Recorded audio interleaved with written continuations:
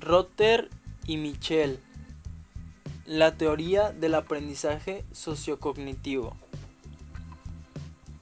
Las teorías del aprendizaje sociocognitivo de Rotter y Michel intentan conjugar los puntos fuertes de la teoría del refuerzo y la teoría cognitiva.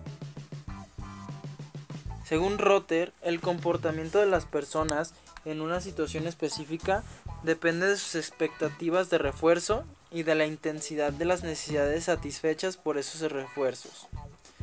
En situaciones concretas el comportamiento se puede predecir usando la fórmula predictiva básica, que sugiere que el potencial de que se produzca una conducta concreta depende de las expectativas de la persona y del valor del, del refuerzo.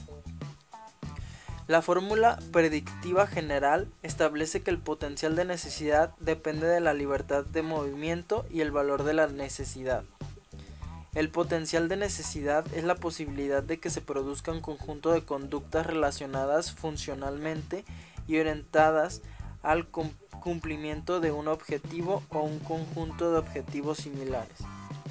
La libertad de movimiento son las expectativas generales de que un conjunto de conductas relacionadas reciba un refuerzo. El valor de la necesidad es la medida en que una persona da preferencia a un conjunto de refuerzos por encima de otro. En muchas situaciones las personas desarrollan expectativas generalizadas de éxito porque tienen experiencias previas de refuerzo en situaciones similares. El, locus, el locus de control es una expectativa generalizada de la creencia de las personas de que pueden controlar su vida. La confianza interpersonal es una expectativa generalizada de que se puede confiar en la palabra de los demás. La conducta inadaptiva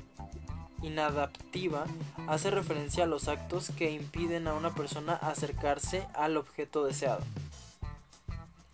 El sistema cognitivo activo de la personalidad de Michel sugiere que el comportamiento de las personas está determinado en gran medida por una interacción entre los rasgos estables de la personalidad y la situación que incluye una serie de, variables, de variables personales. La psicoterapia de Rotter aspira a cambiar los objetivos y mejorar las expectativas. Los rasgos personales tienen cierta conciencia temporal, consistencia temporal, pero varían de una situación a otra.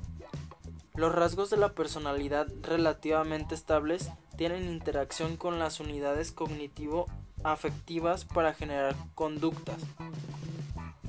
Las unidades cognitivo-afectivas incluyen las estrategias de codificación de las personas, es decir, su manera de construir y clasificar la información, sus capacidades y planes de control, de autocontrol, es decir, lo que pueden hacer y sus estrategias para hacerlo, sus expectativas y creencias sobre las consecuencias percibidas de sus actos, sus objetivos y valores y sus respuestas afectivas.